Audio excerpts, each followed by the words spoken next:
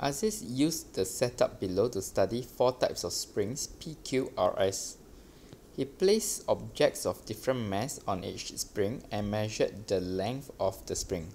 The results are shown in the graph. So this is P, Q, R and S. Using the same setup, Aziz wanted to compare the mass of two oranges below. So which spring PQRS is the most suitable for his setup?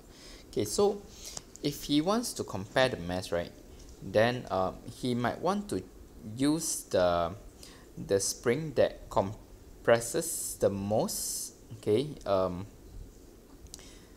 that means it has to be R because R is being compressed the most out of PQRS so because the the compression is very obvious it will be um, more obvious if he wants to compare the the weight or the mass of the two oranges?